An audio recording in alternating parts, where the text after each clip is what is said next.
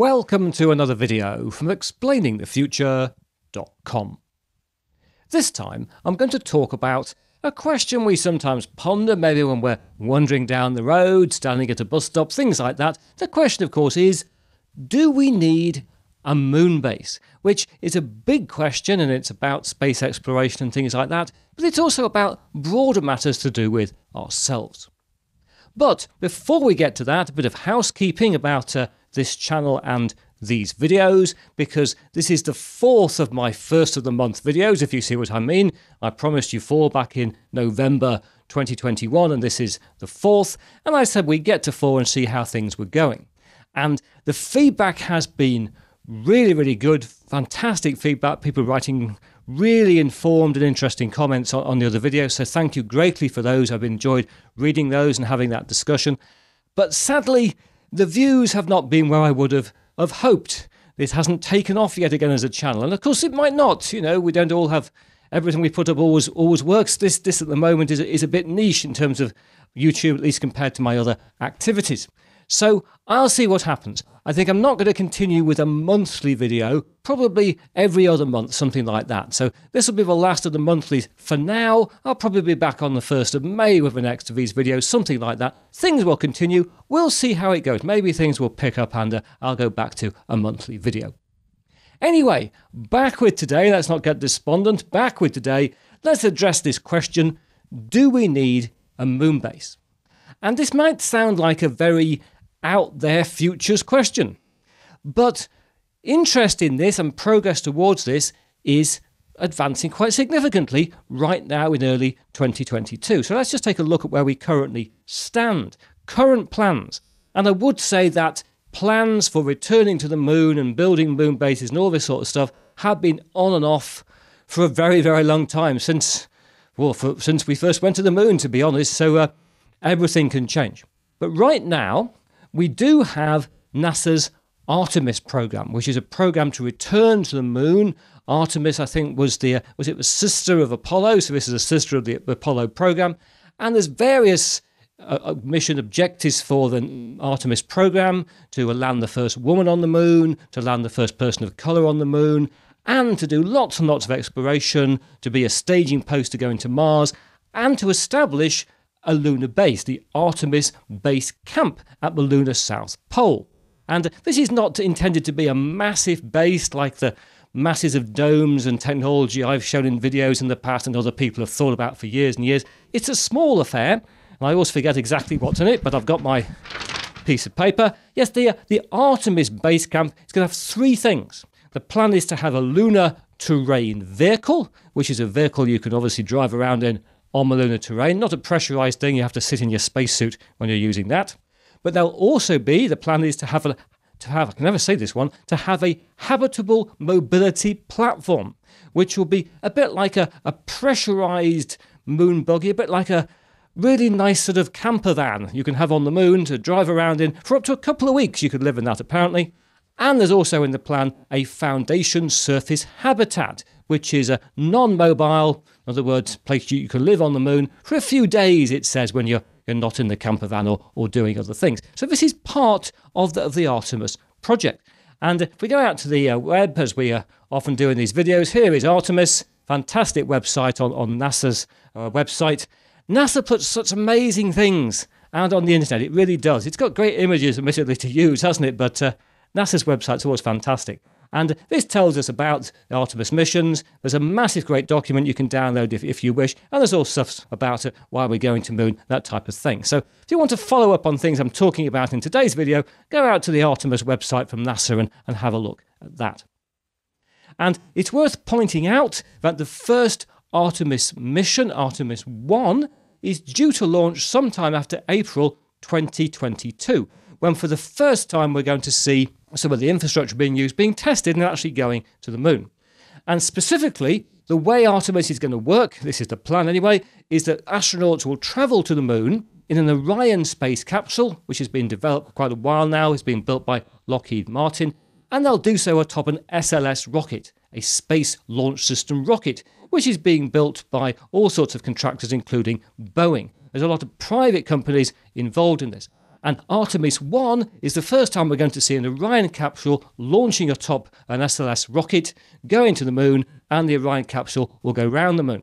And I think when we start to see that in the news, which should be, fingers crossed, in 2022, when that happens and we see a capsule that could have carried human beings, it won't. It's an unmanned mission, an uncrewed mission, Artemis 1. But when we see that potential capsule that could have carried people going around the moon in 2022, I think this will ignite interest and in this, and also questions of why we're doing it and what's going on, which is why I'm making this video. Anyway, as it says here, just to complete the picture, astronauts will get to the moon using Orion and SLS, but they'll go down to the surface using the uh, Starship HLS, the Starship Human Landing System from SpaceX. And it's not just America and various pri- private companies involved in this. We've also got China doing quite a lot of lunar stuff over the past decade, actually getting to the moon with a soft landing a few years ago, bringing some rocks back. That type of stuff has happened. And China said most recently in December 2021, that it plans to have some kind of lunar research station, an unmanned lunar research station, around 2027. So we might be in midst of seeing another another moon race. It'll just be America and China this time, not America and Russia. Although Russia apparently is cooperating with China, these things all get geopolitical, as I'm sure you would expect. So anyway, the main point I wanted to make with this slide was not to go through the details of exactly which rockets and all the things to the nth degree, but to make it clear that this is practical stuff. There is interest and investment and research going on right now to get people back to the moon and potentially to build some sort of base on the moon. Now, this raises all kinds of questions. The first one of which is fairly obviously that's a lot of money. It's going to cost us tens of billions, hundreds of billions to do this, I'm, I'm sure. Shouldn't we spend that money on other things? We know that one in nine members of the human species is malnourished. They haven't got enough to eat. And in that context, is it even moral to spend all this amount of money on space exploration and space travel and all that type of stuff? And this has been an argument made since the Apollo program in the 1960s, and it was a good argument then, and it's a good argument today. And I've got, got, I think, two things to say on this. One is there are positive arguments in favour of returning to the moon and building a base and that type of stuff. I'm going to come on to those for the majority of the rest of the video. But I think the other thing to bear in mind is that even if all space travel and all space exploration budgets disappeared tomorrow, there is no guarantee that all that money would be spent on easing poverty and hunger and all the things that plague so many people on planet Earth. That the reason we've got these problems is not because of space exploration, it's because of the, the means of allocating resources and how we treat each other on planet Earth that come out of our, our current systems of governance. And we've got various systems of governance in different countries and the different philosophies behind them, but they all end up with the rich getting richer and the poor getting poorer. It seems they don't even things out. So I think it is too simplistic to say, well, if we stopped spending money on space exploration, if we didn't do these things, that we, would solve these problems back on Earth. They are big issues, they're important issues, but they're well beyond the scope of this topic or this video to address. So let me move on to, I think, the three key reasons why I think we will in time decide to build and build and inhabit a moon base. The first one is in some ways the least important and in some ways the most important. And that is our emotional need as a race, as, as a species, to do stuff, to, to explore, to go out. This was part of the logic of the Apollo program, which is, of course, also about Cold War politics. But there was this human beings leaving the Earth doing stuff. The, uh, the first footfall on the moon was described as a footfall 250,000 miles away that changed the way we think about ourselves. And I think that's still true. And the moon is an interesting place to go for a very particular reason because across history, we have sought to go further, to expand our horizons, to expand our realms. That's, that's the history of the human species. And yet, the only place we can seek to expand to, or, or could in the past have seek to expand to, that everybody on the planet can see, is the moon we can all look up at night on a clear night and go, oh, look, the moon.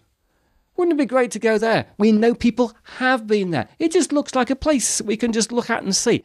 And I think we have this emotional attachment to it now because of what happened in the late 60s and early 70s with the Apollo program, and but more broadly because it is clearly a territory that we can spy and we can yes, that that is a that is something to shoot for as we did in, in the past. So I think our emotional need to to achieve great things is part of this. And to some extent, we did this extraordinary stuff with space travel and, and, and, landing on the moon in the 1960s. And what have we done since then as a species? And of course, we've done some amazing stuff. We've developed the internet, internet extraordinarily. We've linked together, as I've discussed in, in videos here fairly recently. We've developed extraordinary computing technology.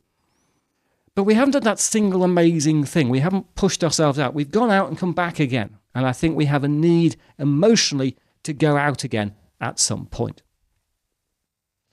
Now, I think we also have a practical need because today we talk a lot about sustainability. And it's a great idea, sustainability, living within our resource means, but it is, of course, impossible. You cannot, in a closed system like the planet Earth, go on using stuff indefinitely. Eventually, it will run out. We can live more sustainably, certainly, but we can't live sustainably. People talk about renewable energy. There is no such thing as renewable energy.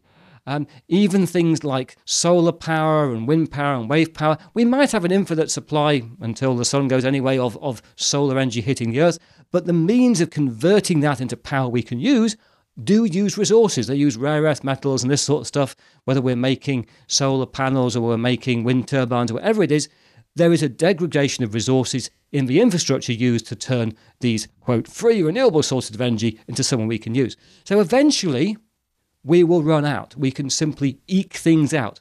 And therefore, I think sustainability has to not just be about using less, it has to be about, if we're going to be really sustainable long term, it's about finding more, which is going off world to get more resources.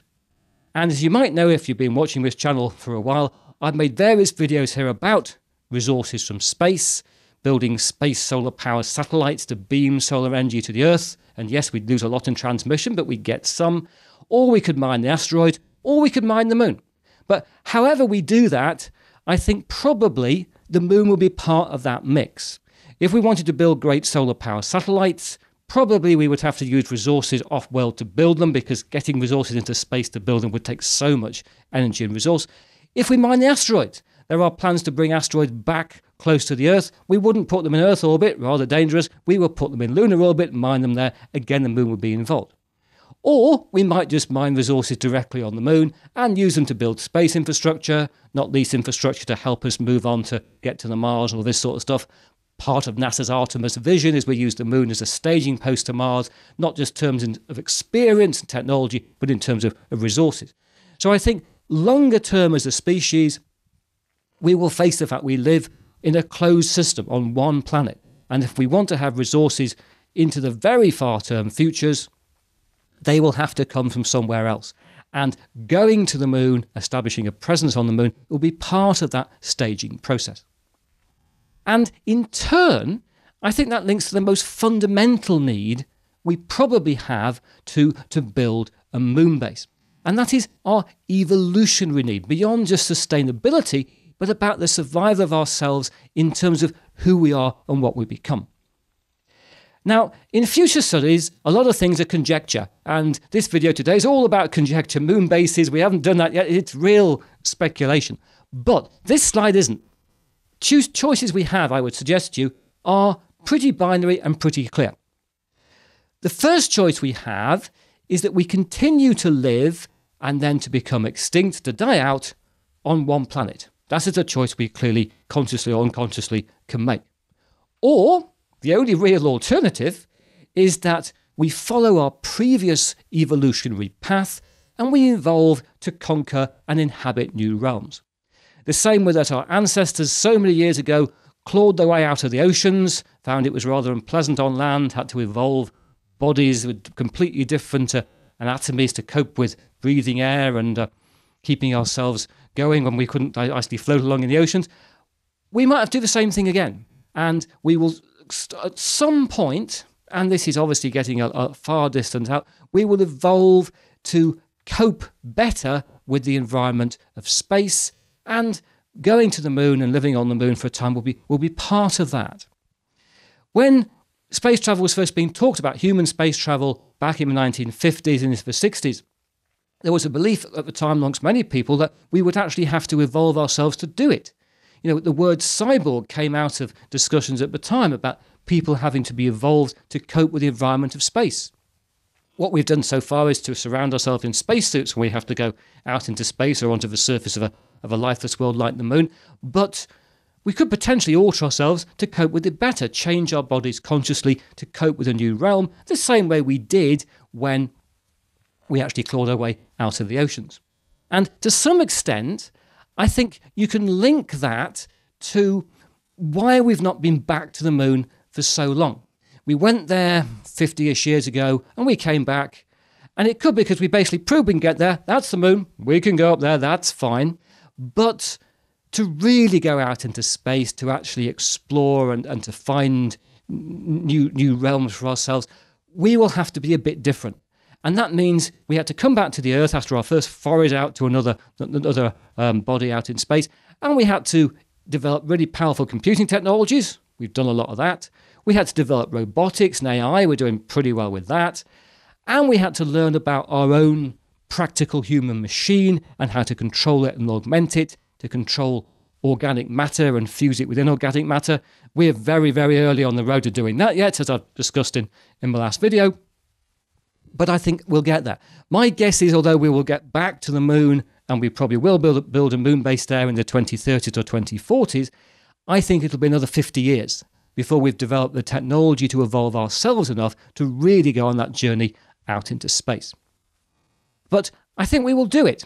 And so I think a moon base is probably an inevitability because at some point it is going to be the next step for the human species to go out into space or more likely, a post human species, a post human race.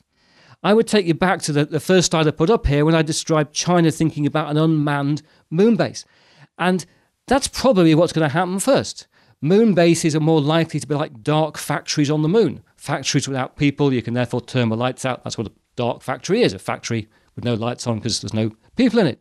So I think we're much more likely to build mining stations and things on the moon manned by robots than manned by people. And in time, we will alter ourselves a bit so we can partake more in the, the population of these uh, spaces we will inhabit somewhere else. And uh, some of us on Earth will look up and go, up there, there's some people or some robots doing stuff for us. It is a. I think it's an inevitability, you can say, that we will have to go out into space, or we will stick to the first point on, on, this slide. We will continue to live here, and then eventually we will, we will die out. We'll get to a point of going, we've done enough. And I guess all of us as individuals are on this trajectory from birth to death, and we get to a point where we go, we've done what we can, and then we'll just go down a bit. Maybe that's what will happen with the human race. But I hope we've still got the energy and the resource to go beyond that, to go out beyond on the earth, to do other stuff. And when you see later on in 2022, when you see, fingers crossed, Artemis 1 launching the Orion capsule around the moon, that that's going to get us thinking again about this should be part of our future evolution, our future destiny. Anyway, I've waffled on a bit there about uh, do we need a moon base? What do you think? What are your thoughts about the future of space exploration and our, and our future as a species beyond planet Earth? But now that's it for another video. If you've enjoyed what you've seen here, please press that like button. If you haven't subscribed, please subscribe. And I hope to talk to you again very soon.